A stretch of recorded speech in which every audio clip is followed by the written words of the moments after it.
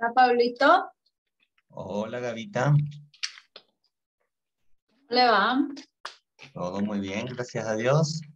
Qué bueno. Está habilitado ya el, el seminario, Gaby. Ok. Eh, no puedo compartir. A ver, déjame un segundito. Este rato.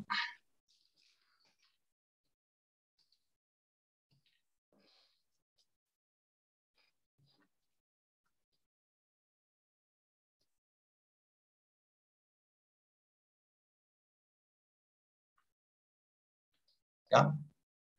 A ver. Ya. Voy a solo. Usted está compartiendo ahorita, ¿no? Eh, sí, pero prueba. A ver. Ahí se abrió, ¿verdad? Perfecto. Ya.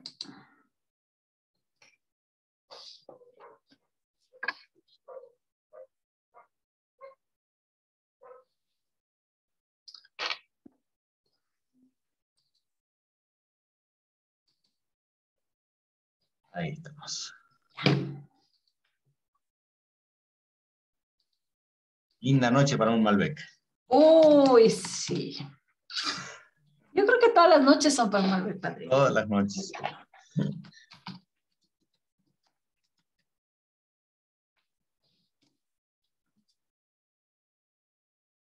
Pero mejorado el clima, entonces ya no está como Sí. para chimenea, está como No, no. para, como para terraza. Así es. Hola Gina, ¿cómo estás? Gracias por conectarte. Luis, nuevamente, gracias por conectarse. Qué lindo, ya. Sí. Se nos están sumando algunos, algunos amigos habituales ya de este espacio. Bueno, también el tráfico estaba típico tráfico de viernes, ¿no? Pero bueno, si llegan a casa, qué mejor que A relajarse. relajarse, buscar ese espacio favorito, lindo, cómodo, y con alguna de estas botellas que están viendo en pantalla, disponerse a disfrutar de una hora de cultura, de rica charla y de mejores vinos. Así es.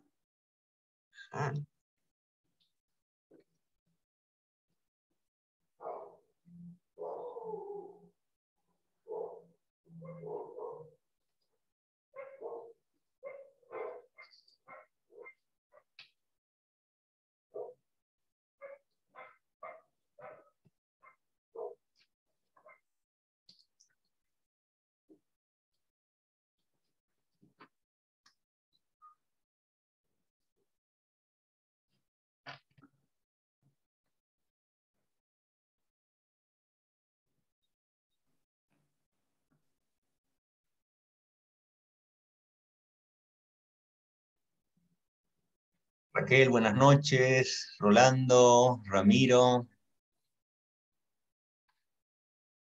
Qué gusto tenerlos con nosotros. Patricia.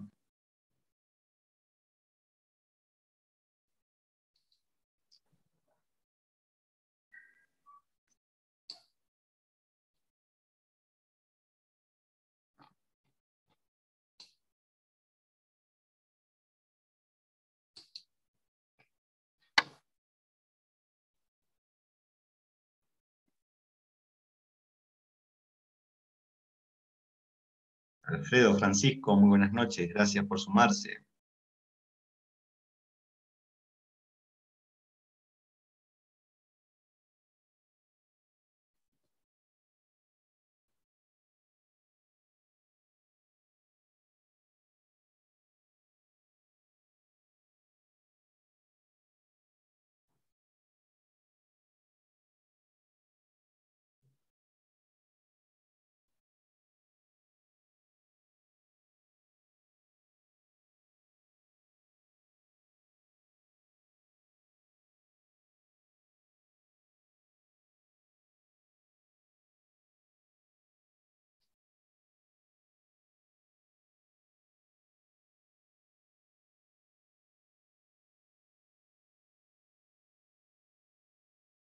Buenas noches con todos, muchas gracias por su puntualidad.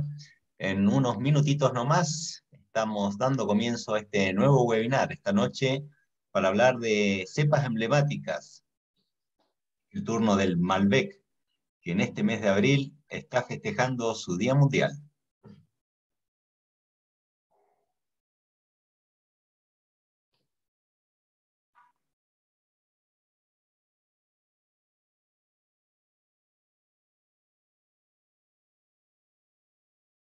Ana y Raquel, somos nuevos integrantes de la cofradía. Mucho gusto, qué chévere, bienvenidos. Un, un placer tenerles aquí. Nuevos miembros de la cofradía. Mónica, ¿qué tal? Buenas noches.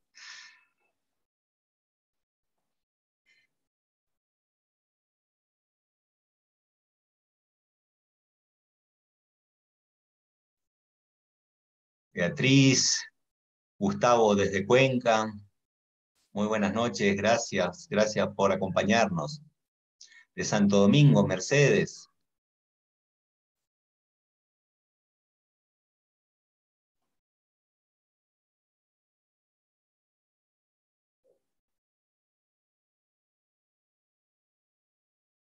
El Mundo Pavón de Machal, Alejandro Lozada, Nadia, desde Ibarra, Patricia desde Guayaquil, buenas noches. Oscar desde Guayaquil.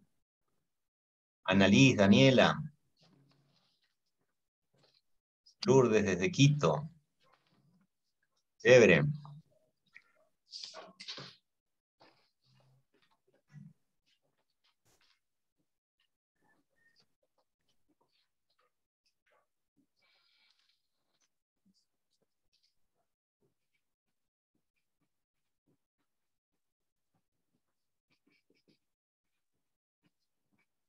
Carlos del Condado, Viviana.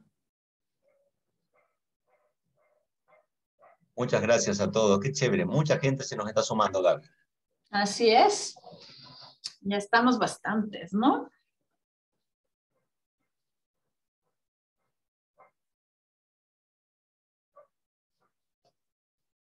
Muy bien. En honor a nuestra reconocida puntualidad, vamos a ir arrancando. ¿Te parece, Gaby?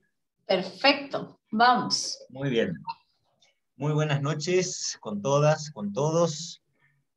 Soy Pablo Conselmo, enólogo, director académico de la Cofradía del Vino y en nombre de Corporación Favorita de Supermaxi, Megamaxi, de la Cofradía del Vino, les doy la más cordial bienvenida a este webinar. Una noche más en compañía de una querida amiga y sommelier, Gabriela Páez, con, una marca que también hemos tenido el gusto de, compartir y de analizar y de probar y de disfrutar desde distintos ángulos como es Trivento. Buenas noches, Gaby, qué gusto tenerte una vez más y poder compartir contigo.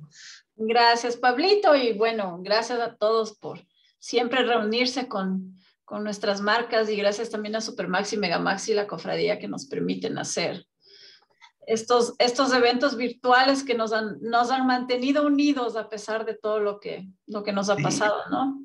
Y a pesar de que, a Dios gracias, la pandemia viene aflojando, sigue siendo un lugar de encuentro este, para los miércoles, para los viernes, de, muchos amigos, de muchos amantes del vino, de su cultura, para, para disfrutar de, estas cosas maravillosas que, el vino nos, nos, propone, ¿no? que sobre todo conocimiento, cultura, acercarse también con, amigos y con gente querida. Eh, el día de hoy, como siempre, vamos a dividir un poco esta presentación en, dos partes. Yo inicialmente voy a hacerles un acercamiento un poco más histórico a, lo que es el Malbec, y luego ya con Gaby nos vamos a meter de, de lleno en las texturas, los aromas y los sabores que esta variedad tan rica nos regala. Lo que me encanta que son eh, los números. Me encantan los números, las cifras de los, de los vinos, me gusta mucho porque es una manera de que la gente se dé cuenta cómo hemos estado haciendo crecer la cultura del vino, quiénes toman más, cuáles son las ciudades que más consumen Malbec, dónde están las hectáreas de Malbec. Así que por ahí nos vamos a ir también. Es decir, tenemos una noche llena de sabor y conocimiento. ¿Qué más le ah. podemos pedir a un viernes? A un viernes. Fantástico. Los amigos, los amigos que se nos están sumando, eso sí le podemos pedir y gracias a Dios están allí esta noche ustedes acompañándonos. Así es. Em, muy bien. vamos a situarnos en, los inicios, en el, en el Big Bang del, del Malbec. Nos tenemos que remontar a, Francia, a una ciudad que se llama Cahors, este, actualmente departamento del Lot, en una región que se conoce como Occitania. Em, la, la, uva Malbec está presente presumiblemente en esta región este, entre el año 20 y el 150 después de Cristo. Es considerada una de las uvas, este, una de las cinco o seis uvas más antiguas, este, derivándose, este, digamos, prácticamente con, muy pocos escalones intermedios de, las vides eh, salvajes, de, las vides primitivas. Eh, de hecho, en el año 2009, un equipo de, investigación de, del INRA en Montpellier y en conjunto con la Universidad Davis de California, determinaron que, el Malbec surgió como el cruzamiento de dos uvas tintas que se encuentran actualmente en, Francia, una que se llama Madeleine Noir de Charan la otra es la Prunelar. La primera es una uva más de, mesa, que es la primera que ven acá en pantalla a, la izquierda. Y la segunda, la, la, es una uva más difundida en la época, en la Edad Media, este, y todavía se la puede encontrar hoy en algunas partes de Galiac. Em, el nombre, ustedes se preguntarán de dónde viene el, el, nombre de, de, de Malbec. El nombre de Malbec les diría que es más bien tardío, ¿no? esta uva comienza a, nombrarse como Cot inicialmente y, posterior como uva oscura, como vino negro, como vino, oscuro de caos. ¿sí? Em, el nombre Malbec viene de un, de un apellido, ¿no? Monsieur Malbec, que la, la, la introduce o la difunde em, de, origen húngaro, este señor, y, y la difunde en, Santa Eulalia de, Ambaré, en el departamento de la, de la, Gironda, dentro de lo que actualmente conocemos como, como, como Bordeaux. ¿Sí? Eh, ahí empieza a ser este, nombrada con el, con el nombre que, actualmente le, conocemos, aunque todavía en, algunos sitios la, la, podemos encontrar como, como Cot. Acá tienen una imagen de, de. Los vinos en este, en, esta, en este emplazamiento eran ya conocidos desde, desde la antigüedad. Eh, tal es así que mm, lo, lo, encontramos citado por el Dante en la Divina Comedia, ¿no? Este, particularmente en, en, en, un capítulo en el Purgatorio, eh, en donde la equipara más o menos a Cahors con, con Sodoma y Gomorra, digamos, no es muy feliz, digamos, la, este, la, comparación. no es tan buena la comparación. No es tan buena la comparación, pero lo, lo, lo de Cahors estaba más vinculado con, las actividades comerciales, digamos, era una, una, una ciudad este, con, con, muchísimo, muchísimo movimiento comercial, una ciudad también universitaria, supo tener una de las primeras universidades de, de Francia. Em, el hecho de estar al borde de este río, que es el río Lot, que es un afluente del Garona, le comunicaba directamente con el puerto de Burdeos y con ello le daba acceso particularmente al, al mercado británico. ¿no? Este, del Mediterráneo estamos alejados acá, con lo cual este, recién con, con, la llegada de los romanos, este, cuando, cuando llegan a esta zona, empieza como a, tener también un poquito más de, este, de, de, importancia para, para lo que eran las, las ciudades o la elite del imperio, ¿no? Pero convengamos que siempre estuvo un pelitín más cerca de toda el área de, de influencia británica.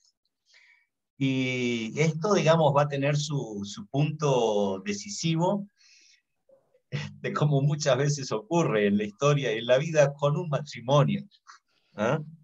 Yo creo que todo el tema del vino siempre está metido, el, el tema del, del, del, noviazgo, del amor, de... Sí. sí ¿no? Hemos encontrado bueno, en todos.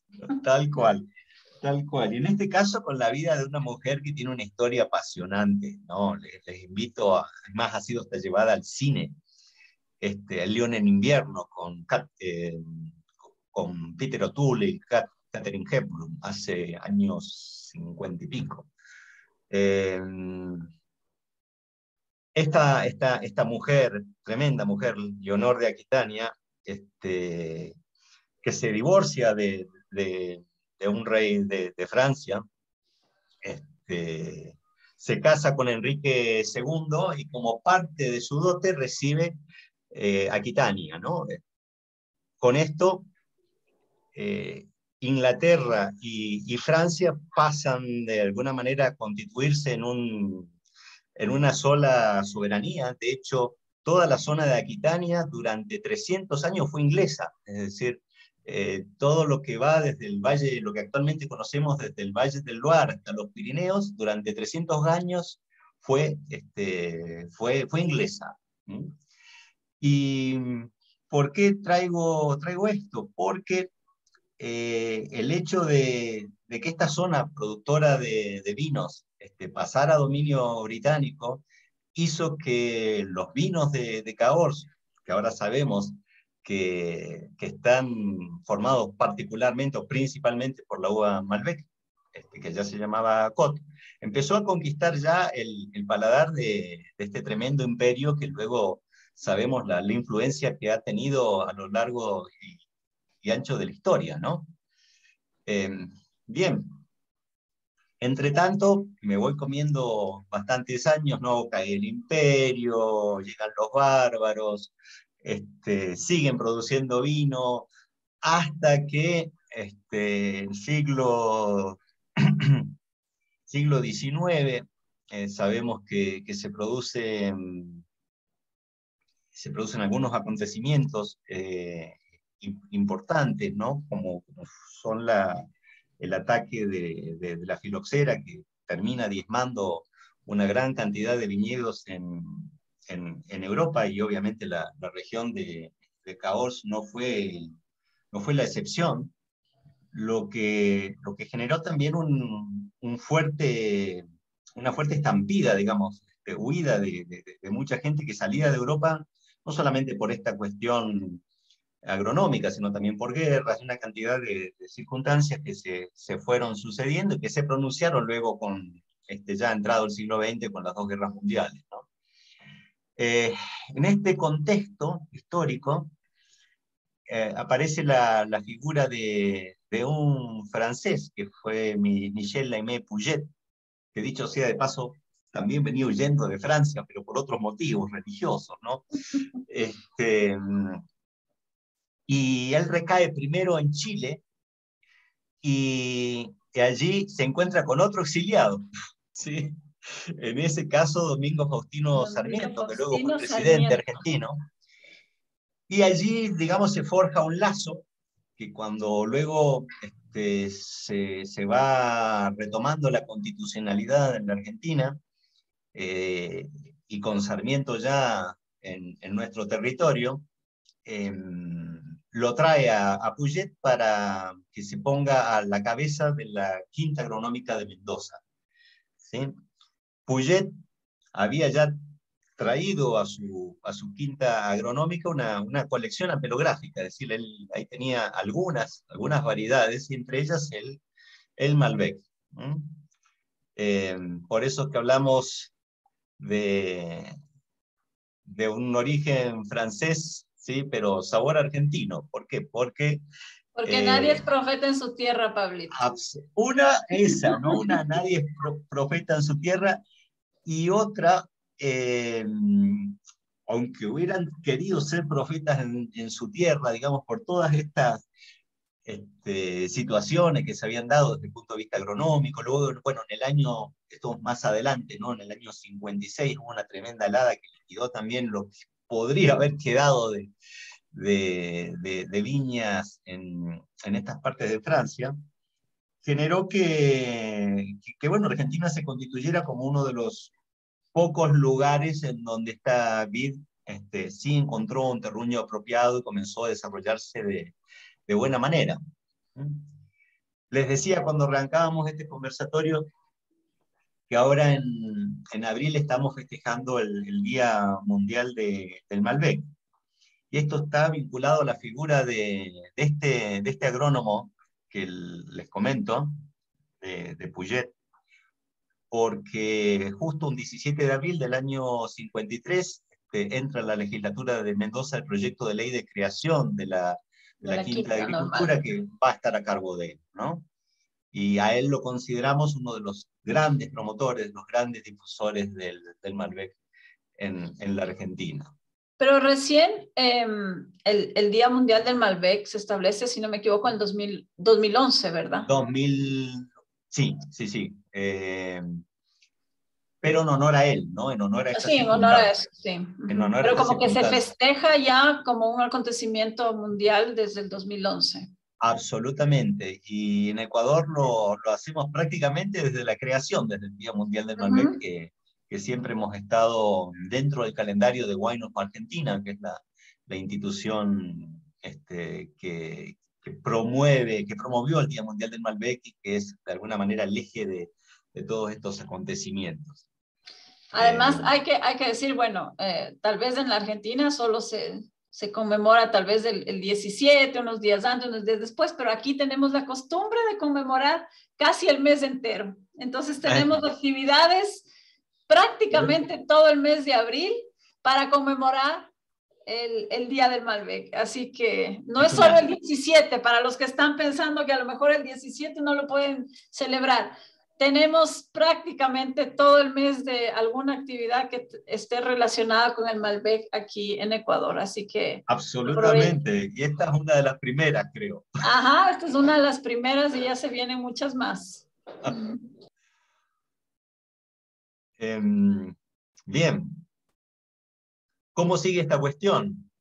Fines del siglo XIX y de la mano de, una fuerte inmigración eh, de origen fundamentalmente italiana, francesa, española, esta uva empieza a, multiplicarse rápidamente y es llevada a diferentes terruños de, de la Argentina, no solamente a Mendoza, ¿no? Eh, a Salta, a, San Juan, a Patagonia, digamos, empieza a regarse este, donde sea que, donde, que, que, van los, los inmigrantes, ¿no? Y para que se hagan una idea, la cantidad de inmigrantes que llegaron a la Argentina, entre el año 47 y el año 39 llegaron 7 millones, ¿sí? Eh, 3 millones de italianos, 2 millones de españoles, 250 mil franceses, 182 mil polacos, 180 mil rusos, 150 mil alemanes, tengo datos de, de, de, censos de algunos de esos años en donde la población local era mayormente extranjera, ¿no? En, en muchas ciudades, o que estaban ahí. 50-50, este, ¿no? Eh, de hecho, de esa cantidad de, de, italianos llama mucho la atención, ¿no? Porque eh, incluso tal vez, o sea, de hecho, creo yo que mucho, mucho del estilo de hacer vino italiano se quedó muy impregnado en, en, en, muchas de las, de las viñas y bodegas argentinas. Y cuando uno visita, todavía hay enólogos eh, y agrónomos con apellidos italianos, que sus familias fueron de las, de las que llegaron y ahora son la cuarta o quinta generación y siguen estando dentro del mismo mundo del vino. Entonces es súper interesante. Uno pensaría que esto es solo números de algo que pasó hace mucho tiempo, pero no, eso sigue no, influenciando de, todavía en de, el mundo del vino argentino. Absolutamente. Este, estaba hace, hace, poquito estuve en, en, en, Argentina por asuntos familiares y este, me, me, he topado con una cantidad de nuevos emprendimientos este, que, que, están justamente revalorizando, revalorizando esta, estas raíces, ¿no?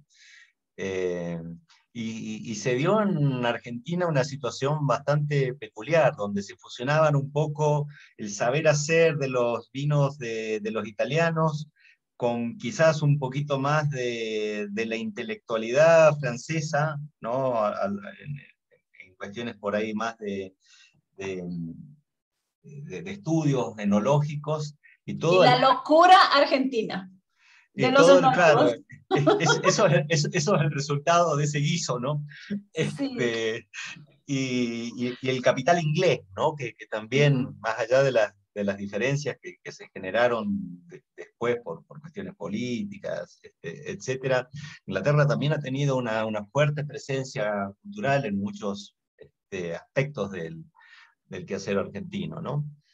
Eh, bien, lo que les decía, esto, esto llevó a que esta variedad inmigrante, como inmigrante es este, fundamentalmente el, origen de, prácticamente la, mayoría de, quienes hemos nacido en esa tierra, eh, se, se, adaptara por un lado rápidamente a distintas regiones, pero también encontrara un poco el, gusto, el, digamos, no, no solamente llegaron las, las uvas, no solamente llegó una cepa este, extranjera, sino también llegó con la misma gente que tenía sed de esos vinos, ¿no? Entonces se, se unieron las dos cosas, ¿no? Por un lado la, la cuestión del, del, vegetal que se adaptó gracias al amor, a la pasión que le, que le puso un millón de gente, pero obviamente también encontró en ellos la fuente de propagación de, del gusto y del consumo por este tipo de, de, de bebidas,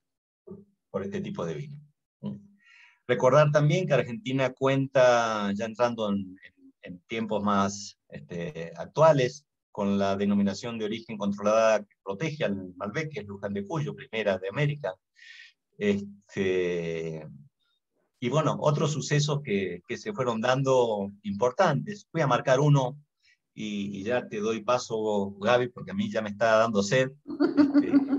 Este, este, supongo que ustedes también, así que a, a tener cerquita su, su botella. Vayan, de, vayan, abriendo, yo me adelanté bastante, Pablito.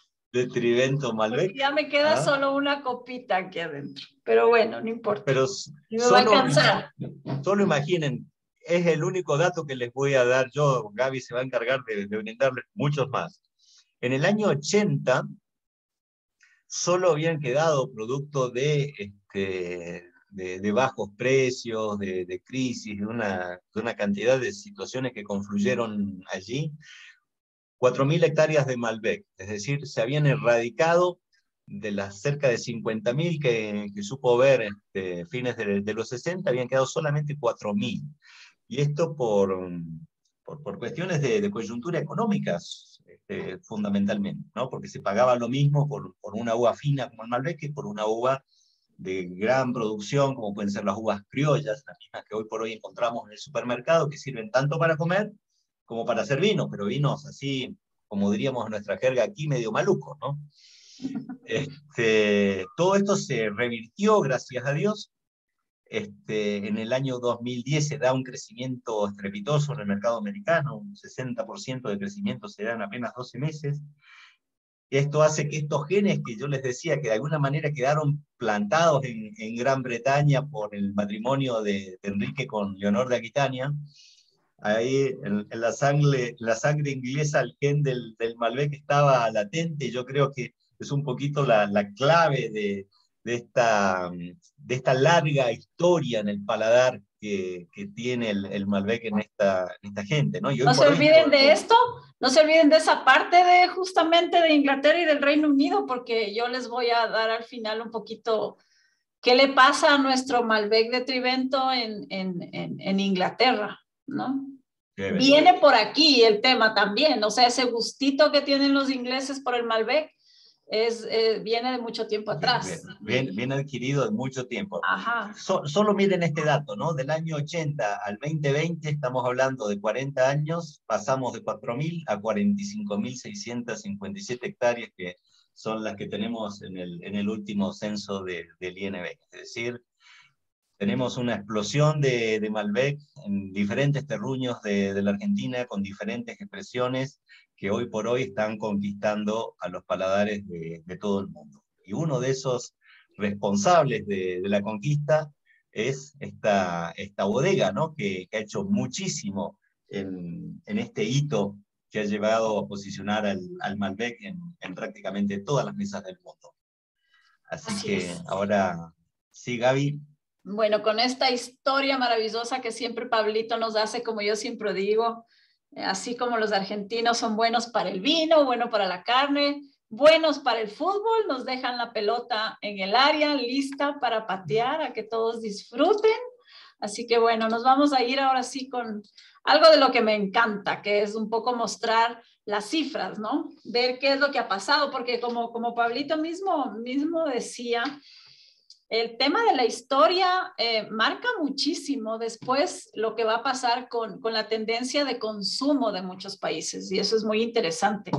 Eh, a pesar de la pandemia, vemos que eh, más bien la pandemia hasta cierto punto ha hecho que, que, hagamos este tipo de cosas, de eventos y, que aprendamos un poco más y el hecho de aprender sobre el vino nos lleva a explorar lugares en el mundo del vino que tal vez antes no, no, no, no, lo podíamos hacer porque nos faltaba tiempo con la pandemia nos dimos cuenta que más bien nos sobraba tiempo y, muchos ocupamos ese tiempo en aprender un poquito más sobre el vino. Bueno, no podemos dejar de ver la parte de paisaje de la Argentina que, que termina siendo también algo que se va a notar en la Copa de los Vinos de Argentina. ¿no? Está muy ligado el estilo de vino y la manera de hacer vino de la Argentina con todo lo que tiene que ver con su paisaje, su, su suelo, su, su cordillera, su agua y todo lo demás. Entonces, bueno, ¿qué es Argentina? Bueno, todos creo que sabemos dónde está Argentina. Está ubicado en, la,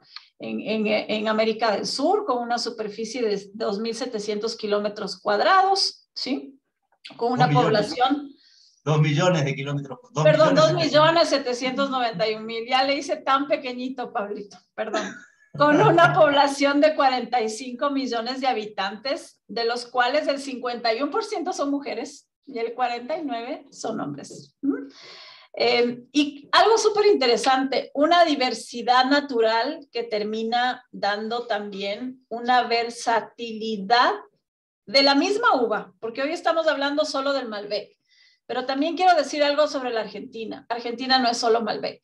¿sí? Y ahora ya estamos viendo que hay muchísimas uvas más que ojalá podamos seguir probándolas aquí mismo de Argentina, otras uvas. No es solo Malbec, hoy estamos con el Malbec porque además es el mes del Malbec, pero esta diversidad natural también hace que tengamos Malbecs tan diferentes em, por la altura, por el suelo y por otro tipo de cosas, ¿no? Eh, todo esto que van a ver, todas estas estadísticas son gracias a Wines of Argentina, que justo Pablito hablaba, que es tal vez la entidad que más se ha dedicado a posicionar al Malbec afuera de la Argentina, sobre todo. Entonces, em, es realmente Argentina el hábitat perfecto para crear grandes vinos. Entonces, ¿qué tenemos aquí? Terroir. Acuérdense que el terroir no es solo el suelo, es todo lo que está alrededor de ese suelo. El clima, el microclima, la pendiente, la altura, Em, la influencia a veces del mar o no, de los ríos, los bichitos que están en esa zona, la gente, la cultura de ese lugar. Entonces, tiene mucho que ver el terroir con una extensión y una diversidad muy interesante. La altitud, tal vez me atrevería a decir que eh, en Argentina son los viñedos con más variación de altitud de, muchos lugares del mundo. Es muy interesante lo que pasa con altitud en la Argentina. Siendo, por ejemplo, solo hablando de Mendoza, tenemos unas diferencias de alturas maravillosas, ¿no? El clima. Tienes, por ejemplo, este, desde viñedos al nivel del mar, que tienes actualmente en la provincia de Buenos Aires, cerquita de, de, una ciudad balnearia muy conocida como es Mar del Plata, hasta algunos de los viñedos productivos más eh, comerciales, digamos, más altos del mundo por encima de los 3.000 metros, como tiene la provincia de, de, de Jujuy. El de Jujuy, el de Jujuy de 3.300 metros es el viñedo más alto del mundo, ¿no? Tengo entendido. Bueno, un clima continental y seco, una baja fertilidad, y ahí la gente diría, pero baja fertilidad, y entonces, ¿de qué estamos hablando? Bueno, lo mejor que hay para la uva es la baja fertilidad agua de máxima pureza gracias a la cordillera de los Andes que también con sus deshielos nos llenan de esta agua tan pura y con unos productores vitivinícolas inquietos y comprometidos. Aquí es donde yo siempre digo, cuando a mí me llama la atención algún vino, es generalmente algún vino argentino que está haciendo alguna cosa diferente. Por eso digo yo siempre la locura de los enólogos argentinos es justo porque tal vez son los más osados en hacer algunas cosas, los más atrevidos. Y eso es interesante en el mundo del vino, ¿no? Em, es el octavo em, eh, a nivel mundial en extensión, ¿sí?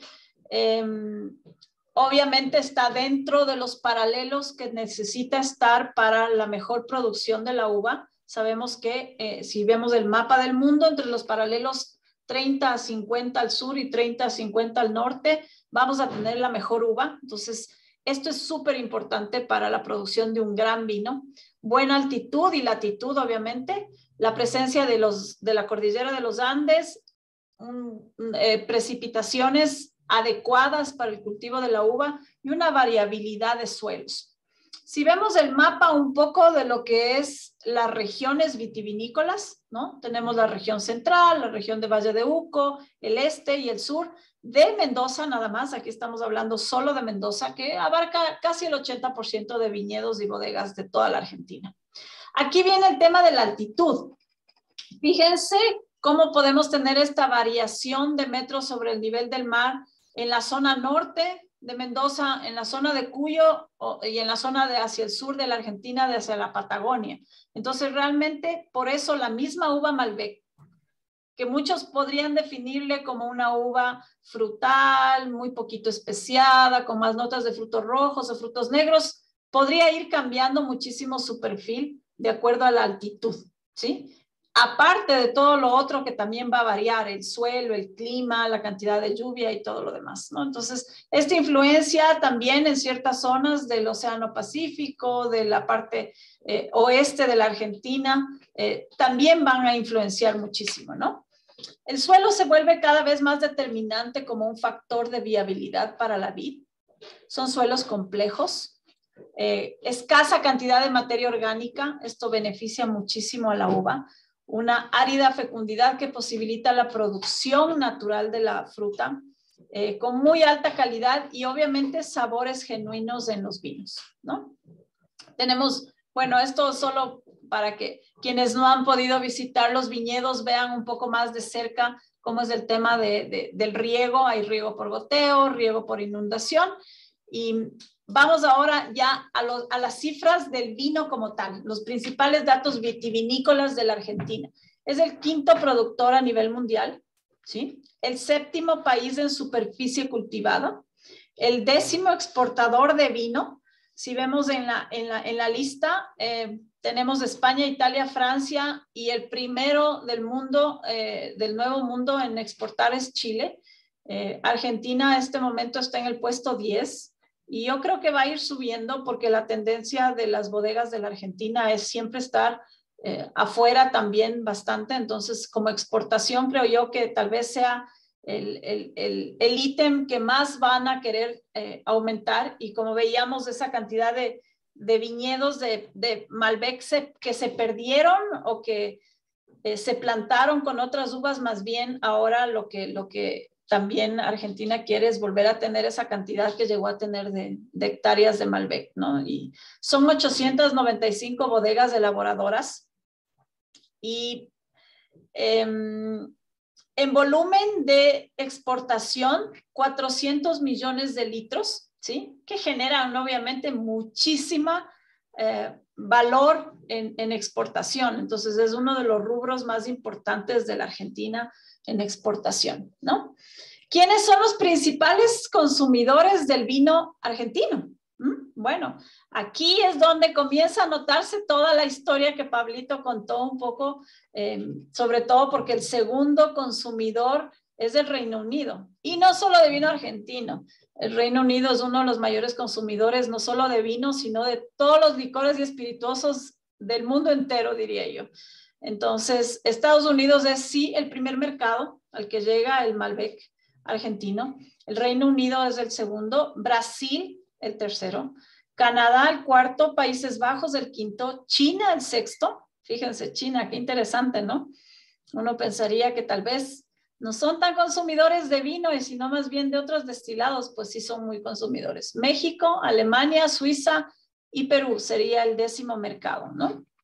Estos son datos del 2020 que actualizó Wines of Argentina en su, en su página. Eh, ¿Qué más tenemos? Bueno, eh, aquí está, eh, Argentina es el noveno país en consumo mundial. Esto también es algo interesante porque también Argentina en un momento de su historia fue uno de los primeros, si no me equivoco, el primero o segundo país de consumo, que se consumía más de 35 litros de vino por persona. Casi 90 llegamos a consumir. Este. Casi 90, pero ¿en qué época fue eso, Pablito? Cuénteme exactamente. Fue finales de los 60, inicios de los 70, por ahí, este, que, se llegó esa, esa cifra. Ahora, ahora, si no me equivoco, están como en 24. Por ahí, sí. De 21 a 24. Eh, quien ha ganado un poco el consumo en la Argentina es la cerveza, quien está un poco destronando al vino en, en, el consumo, pero eh, fíjense aquí, eh, si vemos por países, es el noveno consumidor, ¿sí? detrás de grandes consumidores como son los países europeos, China, por su cantidad de gente también, obviamente. Eh, consumidora no solo de vino, sino de, whisky y de muchas otras cosas. Y si ya vamos por ciudades, fíjense que Buenos Aires es la segunda ciudad de consumo de vino después de París. Entonces tenemos París a la cabeza, de ahí Buenos Aires, Ruhr, que es una ciudad alemana, de ahí tenemos Londres, ¿sí? Nueva York, Milán, Los Ángeles, Nápoles, Madrid y Roma. Serían el top 10 de consumo en ciudades. Y aquí nos vamos a lo que es ya la fiesta, como digo yo, de la vendimia, que en realidad se dice es solo el 17 de abril, pero también en la Argentina tienen toda una semana o un mes relacionado con la fiesta de la vendimia, ¿no? Y el festival que se hace en Mendoza, además, es un festival. En marzo, la, vendimia es el primer, el primer sábado de marzo, este, se, se conmemora este, la, fiesta nacional de la vendimia, que es una de las fiestas eh, populares más este, importantes a nivel planetario, ¿no? Está para que se hagan una idea al nivel del carnaval de, Río, del dragón en China, digamos, de, esa, de ese nivel de, festividad estamos hablando. Esa es la fiesta de la vendimia. Y bueno, curiosidades del Malbec. Algo ya Pablito habló sobre algunas cosas de aquí, pero bueno, se venden más de 300 mil botellas de Malbec cada 24 horas, ¿sí? Se exportan más de 140 millones de botellas. De Malbec argentino nada más estamos hablando aquí. En 1970, y esto es justo lo que hablábamos, habían 20 mil hectáreas más de Malbec que el día de hoy. Eh, el Malbec es una de las cepas más versátiles y adaptables a diferentes suelos, climas y altitudes, pero eso también eh, ha hecho que sea esta, esta uva tan bien lograda en diferentes lugares de, Mendoza, ¿no? De diferente altura, suelo, clima. Ya hablamos sobre eh, que al principio se llamaba Malbec con K, justamente por el apellido del viticultor húngaro que difundió esta cepa en Francia. Existen 400 hectáreas de, de Malbec en Sudáfrica.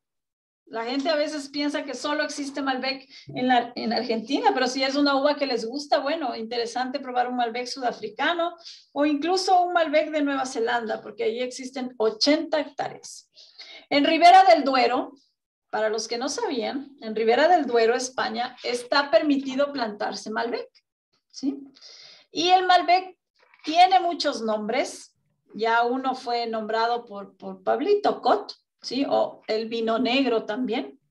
Presac, Negrera, Agreste, son algunos de los nombres que se le ha puesto a la uva.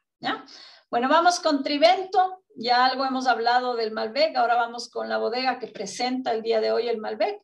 Fue una bodega adquirida por, en 1996 por Concha y Toro. Comenzamos con una sola bodega, ¿sí? Y 154 hectáreas en Maipú. Trivento se llama por los tres vientos, los tres vientos que azotan la zona de Mendoza, unos temidos más que otros, el polar, el sonda y el sudestada. El polar es el viento frío del invierno. El sonda son ráfagas esporádicas calientes y secas que bajan de los Andes todo el año. Y el sudestada es el viento fresco asociado a tormentas, tal vez el más temido por ahí. Bueno, ¿qué es Trivento el día de hoy? Tenemos ahora sí 1.289 hectáreas propias, eh, en Maipú, Luján de Cuyo, ¿sí? Eh, Tupungato, San Carlos, todo esto es Valle de Uco, Tupungato, Tunuyán y San Carlos. Luján, Maipú, em, tenemos ahí la finca Los Vientos, que es una de nuestras fincas principales. y la zona este, en donde tenemos tres fincas también, en San Martín, Rivadavia. 30 millones de litros de capacidad total, 750 mil litros en bodega premium, esto quiere decir los vinos más alta gama, ¿sí? Y costosos, y 4.500 barricas. Este es nuestro grupo de enólogos jefes, a la cabeza de Germán Di Césare, que es quien está festejando con los brazos arriba. Em, un crack, creo yo, para el tema del Malbec. Y algo interesante también, que ojalá ya llegue acá al Ecuador, que todo el mundo me pregunta, el White Malbec. Este, este vino que también Trivento lo ha posicionado también en la Argentina y que se atrevió a hacer este blanco de la uva Malbec y que ojalá pronto lo tengamos aquí para probar. Está entre las cinco bodegas de mayor exportación en la Argentina, Trivento. Y aquí están parte de sus vinos, de su portafolio. Hoy estamos dedicados a la línea de, reserva y algo de lo que es Golden Reserve también, que está presente en los cinco continentes. Y bueno, hemos recibido puntajes interesantes de Tim Atkins, eh, de Decanter, de James Suckling, ¿ya?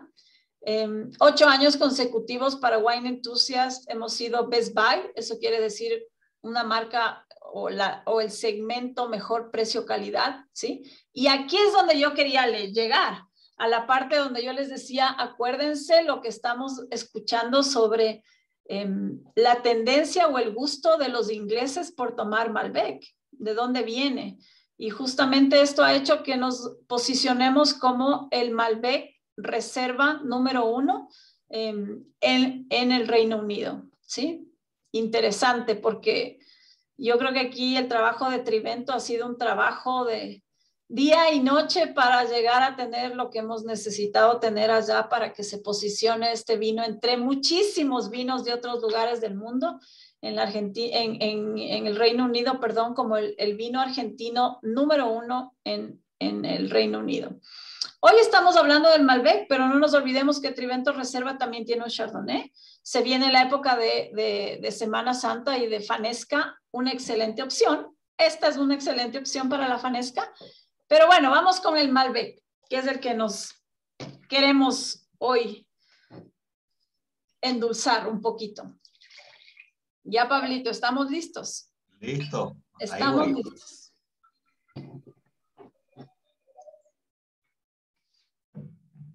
Qué color tremendo, ¿ah? El color, ¿no? El color es muy bonito del Malbec siempre. Acuérdense de verlo sobre un fondo blanco, que es la mejor manera de, de poder ver la intensidad de color que tiene y el brillo también. Em, bueno, este es un 100% Malbec.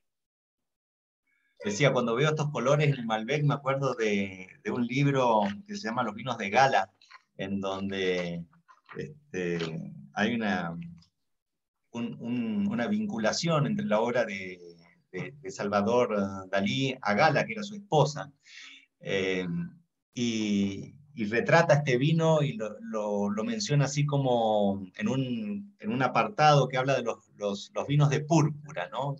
Y dice del, Malbec tornasoles de carne líquida, ¿no? Al, referirse a, a, cómo se ve. El color, sí, tiene un color cereza muy intenso, ¿no? Un rojo sangre, a ratos muy, muy bonito y siempre suele ser muy brillante. En nariz, para la gente que, que nunca ha probado un Malbec y cuando lo prueba tal vez por primera vez y lo siente en nariz, siempre este, este, este gusto por los frutos rojos y negros va a estar presente en el Malbec, venga de donde venga. Eh, aquí tal vez esa parte del Malbec no cambia, así le cambiemos de suelo o de clima, porque es parte del nervio vital del Malbec el tener mucho de fruto rojo y negro. A veces ese fruto es más hacia el mortiño, los frutos negros con poco de rojos, pero por ahí puede haber una combinación mucho de ciruelas también, de especies dulces. A veces hay, hay lugares muy eh, interesantes en Mendoza que me dan Malbecs con, con notas especiadas de dulzor, de canela, de regaliz, muy interesante, ¿no? Bueno, este Trivento Reserva Malbec suele tener por ahí sus notas de ciruela, de frutos negros, especies muy pocas, muy pocas especies, em, pero sí se siente la vainilla, ¿no? Como entre vainilla y caramelo, a ratos un poco más como de chocolate. Yo aquí en este le siento más avainillado que, que con notas de chocolate. Sí, vainilla, ciruela, frambuesa, tal cual, ¿no? Los, los, descriptores que están ahí en la, la, nota de cata. Sí, suele ser, suele ser muy, muy, muy equilibrado, ¿no? Es un, es un vino que, que en boca, si ya lo, lo probamos.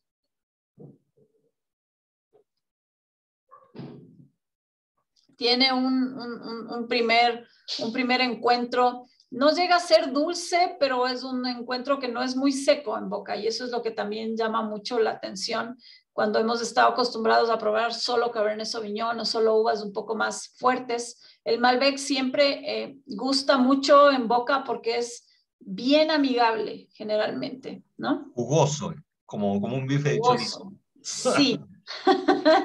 y si pensamos en Malbec y pensamos en Malbec de la Argentina, obviamente, ¿qué es lo que los argentinos hacen maravillosamente bien? Pues los asados. Y qué mejor que ya que se viene el fin de semana, pensemos en un asadito con la familia, por ahí, perfecto un Malbec, sin desmerecer que es un vino muy amigable para acompañar igual un piqueo de jamones y quesos, una pizza, pasta que quedaría también muy bien. Lo he maridado también con carnes blancas sin ningún problema. Por ahí algunos pescados de una buena salsa. No hay problema en, en, tener ese tipo de comida, pero tal vez su mejor compañero sí podría ser un poco las carnes a la parrilla, ¿no? Me, atrevo a decir que para mí sería la mejor opción. Con, platos ecuatorianos, porque con platos ecuatorianos, siempre por ahí vi en, en, el chat una, una pregunta al respecto, ¿cómo, cómo te ha ido, Gaby? Con platos ecuatorianos, a ver, em, ¿con qué me gustaría? He probado por ahí con fritada, me, me, gusta mucho cómo se lleva con el cerdo, el Malbec, me gusta. Em, ¿Qué más se me ocurre con platos ecuatorianos? Cualquier guiso al jugo, una carne al jugo. Em, Va a ir muy bien también. Sí. Totalmente. No sé qué tal quede con cuy. Nunca he probado Malbec con cuy, pero habría que probar. Por ahí hay gente que le gusta mucho el cuy. Y podría ser una opción. Con carnes oscuras en general con funciona en general. Muy, bien con, con, todas, con carnes blancas, como tú decías.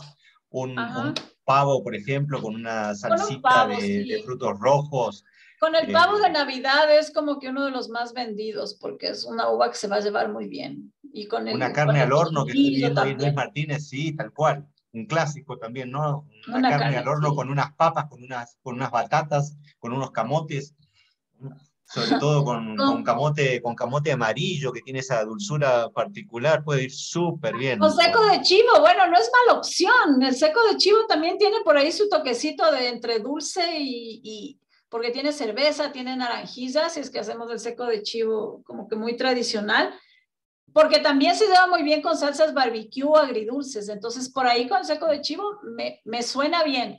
Con yapingachos, bueno, hay que probar. Hay que ya probar pingacho compro, totalmente, sí. Sí, obviamente. Y aquí es la, el momento donde nos da mucha hambre, ¿no? Con un choripán, bueno, sí.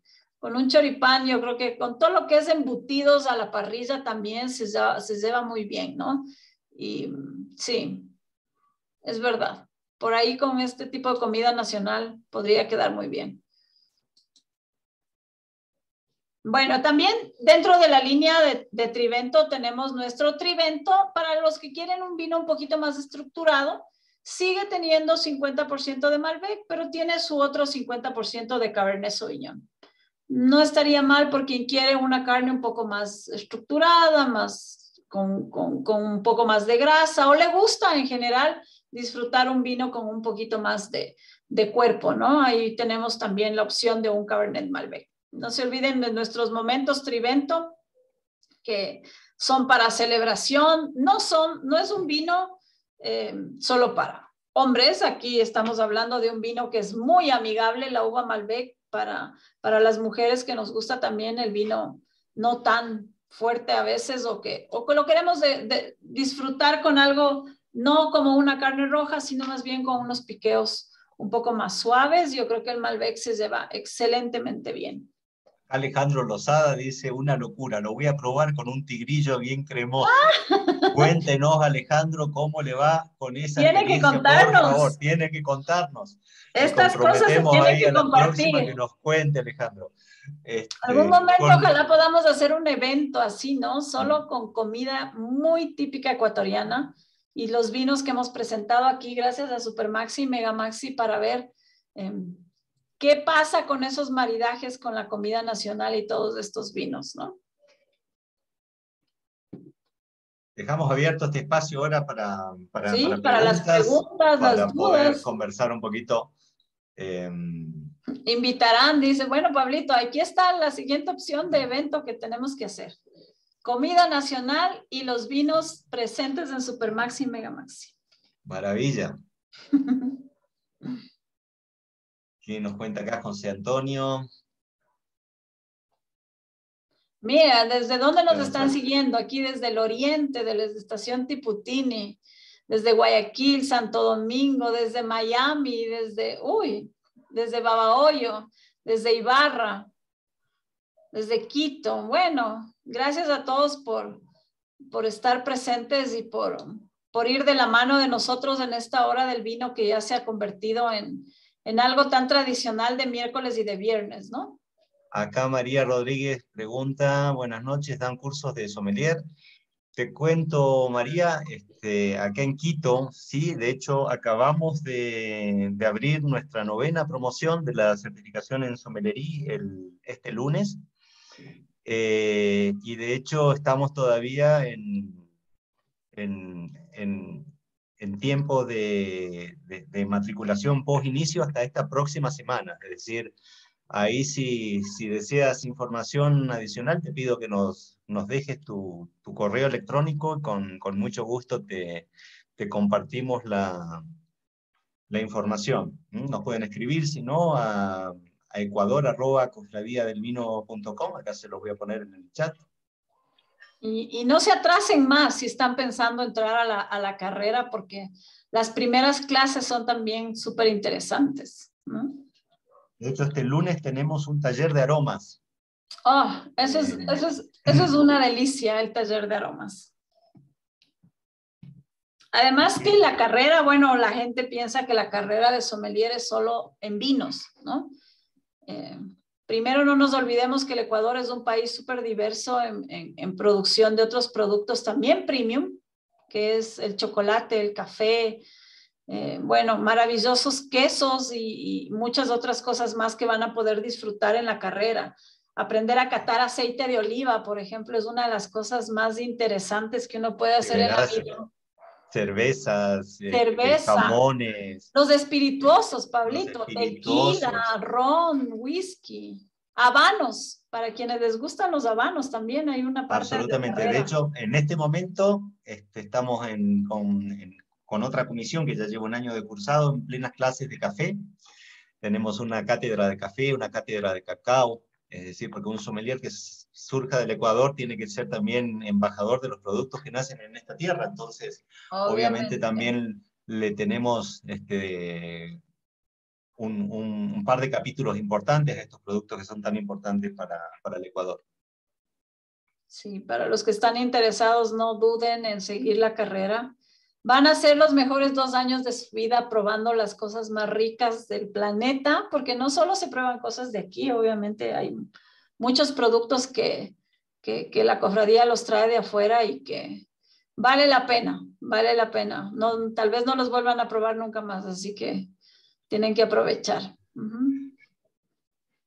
Bueno, y, y Gaby es una de nuestras egresadas, de las cuales, este, como podrán notar, a mí cada vez que le, presento se me dibuja una sonrisa en la cara porque realmente me, me, rebozo de orgullo cada vez que la escucho, que la siento, que la veo, que me la topo a veces. Pero este, Pablito, ya no digamos cuántos, cuántas promociones están ahorita, porque yo soy de las primeras, entonces ya comienzan a contar no se nota, No se nota, no se nota. el vino, el vino. Lo único que se nota que eres de las primeras en la experiencia, en tu soltura, tu prestancia. qué bueno. Pero este, lo demás no. No, sí, es realmente una carrera súper gratificante y obviamente para los que trabajamos directamente como en mi caso en una importadora, es súper importante porque no es solo el tema de, saber catar, sino todo el tema comercial que está por detrás y todo el tema eh, de hacer eventos y de, y de muchas cosas más. Entonces, si tienen la oportunidad de hacerlo, no, no se lo pierdan porque realmente es una carrera que aquí en el Ecuador pienso yo que es una de las más completas. Muchas carreras de sommelier afuera solo son de vino, ¿sí? O vino y espirituosos, pero como que se limitan solamente a eso. Creo que aquí hemos logrado tener una carrera bien completa y un sommelier de aquí puede ir tranquilamente a trabajar afuera sin tener ningún miedo. Totalmente. Muchas gracias, Gaby, por tu testimonio. Acá Esteban pregunta, ¿el nuevo Malbec blanco tiene alguna diferencia con los otros vinos blancos? A ver, el Malbec, cada, o sea, cuando se hace un vino blanco de una uva tinta, no, no se olviden que una uva tinta me sirve para hacer vino blanco, vino rosado y vino tinto. Entonces, vinificar una uva tinta para hacerla blanca em, tiene su magia, ¿no? Y aparte tiene su, sus características principales. Obviamente un Malbec blanco no se va a parecer a ninguna de las otras uvas eh, francesas blancas mismo. Va a tener sus características especiales. Entonces, todavía no pruebo el Malbec blanco de Trivento. Ojalá este año sea el año en el que pueda llegar a probar. He probado un Sinfandel blanco, sí, interesante también. Pero el Malbec blanco como que tengo todavía esa espinita que no, mis jefes hasta ahora no, no se convencen de traer Pablito, tenemos que convencerles. Hay que convencerles. Acá Carlos pregunta si esta uva se la puede plantar en Ecuador y en qué parte, en la sierra o en la costa. Sí, Carlos, de hecho en la... de hecho hay, ¿no? En el, morro hay, hay un... Hay, Malbec. De hecho, el, paradoja, si no me equivoco, es Malbec con Syrah. Eh, no, Cabernet. Cabernet con Syrah. Cabernet con Malbec. Eh, y hay una línea travesía que, tiene, que 100% Malbec. Es decir, también en el Ecuador tenemos Malbec. Hasta en el Ecuador, ajá. Yo creo que, bueno, Chile también lo tiene, ya les dije que, que Sudáfrica, Nueva Zelanda, y sigue habiendo Malbec francés, obviamente, no, no ha dejado de haber. De hecho, ha resurgido a partir del impulso que le dio Argentina. Que le dio Argentina. le está regresando el favor. Ah, exactamente, tal cual. Le está regresando el favor por haber mandado también esa, esa uva, ¿no? Y, yo tenía una pregunta, Pablito, que me quedó la duda cuando, cuando el Malbec llega primero a Chile, de la mano de Puget, em, ¿es exactamente el mismo Malbec que en la actualidad está en Argentina? O sea, ¿son los mismos como que clones? En, en, realidad estamos hablando de los Malbec, no de el Malbec, ¿no? Porque em, digamos, el Malbec que trae Puget a la Argentina obviamente es el mismo que, que, tenía en Chile, de hecho lo, lo, saca, digamos, de su colección, de su jardincito, digamos, su jardincito. que tenía en la quinta normal de, de Santiago y lo trae a Mendoza, digamos. Ese que trae es el mismo, pero ¿qué ocurre? ¿Por qué la variabilidad? Y porque mmm, cuando una uva tú le, le, le vas cambiando de, de paisaje, de, de entorno, eh, comienza, digamos, un, un proceso Una de... Como mutación. De, de, mutación, digamos. Hay algunas que, que, logran adaptarse bien. Normalmente la, la uva tú la reproduces por estacas, es decir, por, como, como hacemos con las plantas de jardín, a veces con un malbón, ¿no? Que coges un gajito, lo pones en agua hasta que eche raíces ya y creció. Lo, vuelves a, lo, vuelves a, reproducir. Y tienes una que genéticamente es, es igual al, al de al, al, del, de la madre, digamos, ¿no? Pero eh, cuando existe polinización eh, este, cruzada, digamos, entre, entre, entre, plantas, tú hoy puedes tener un, un, vegetal que tenga genes de padre y genes de, de, de, madre. En consecuencia, el hijo va a ser no necesariamente igual al padre y la madre, va a tener características diferentes, ¿no? Y, y lo mismo son situaciones especiales de, de clima y de suelo pueden experimentar algunos cambios, ¿no? Esas, esas, esas, mutaciones que se van dando luego ha hecho que a lo largo del tiempo los agricultores vayan seleccionando aquellos que este, han tenido un, un, mejor este, desarrollo, ya sea porque producía más, porque daba un vino más rico, por mejor aroma, porque este, resistía mejor a las enfermedades por diferentes motivos. Entonces, los mismos agricultores a lo largo de los años se han encargado de ir haciendo estas selecciones, este, que luego se han ido difundiendo. Entonces, sí tenemos algunos clones este, con, comportamientos que no son exactamente iguales, más o menos adaptados a diferentes entornos. Pero bueno, siempre estamos hablando de la misma variedad, de la misma uva. Sí, bueno, porque sí, el Malbec de Chile sí es diferente, ¿no? El Malbec de Chile...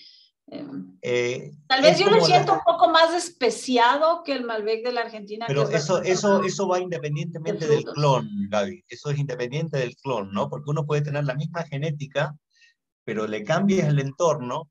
Y ya, cambia por completo el Cambia la situación, ¿no? Yo siempre hago una comparación, le digo, imagínense que tengamos trillizos, ¿no? Todo, este, eh, mismo genes, mismo todo, ¿no? Uno se va a vivir a Cuenca, otro a Guayaquil, otro queda en Quito, ¿no? Luego de un tiempo se reúne la familia.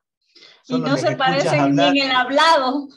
En el hablado sobre todo se van a diferenciar, luego el resto, y, y no es que sean ni mejor gente, ni son diferentes, ¿no? ¿Y qué los, qué los cambió? Los cambió el entorno. Eso mismo que hace con los seres humanos el entorno, lo hace con las uvas, por eso que aún teniendo la misma genética, tú no vas a tener el mismo comportamiento ni en la planta ni en el vino en un Malbec de, de, Sudáfrica, como decías, de, California, de México, que México también tiene bastante México también tiene.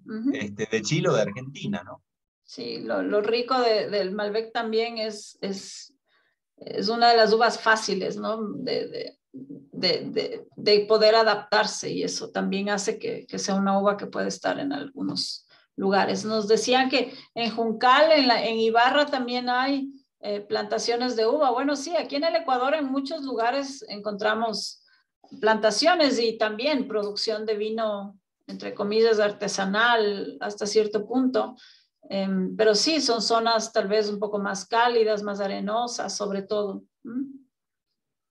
Muy bien, querido. Morro lo que se buscó un poco es una, una cercanía a lo que es California, ¿no? Por, por, por, el lugar en donde esté el viñedo, pero yo creo que aquí en Ecuador sí hay lugares donde podría también. ¿no? Faltan las, las, almas inquietas. ¿no? Sí, eso es lo que los argentinos es lo que necesitamos que vengan acá un poco con sus locuras a tratar de hacer cosas diferentes. Bueno, bueno, qué gusto, muchas gracias a todos los que se nos unieron. Eh, les invitamos a, a disfrutar de este, de este Malbec. Ya saben, lo encuentran en el Supermaxi, Megamaxi, siempre en, las mejores condiciones de almacenamiento, con los mejores cuidados y los mejores precios, sobre todo. Así que una, una, excelente oportunidad en este mes de abril, mes del Malbec, para, para festejar con su cepa emblemática. Salud, salud con todos y disfruten de este viernes y del fin de semana también. Una excelente noche con todos. Salud. Gracias, igual.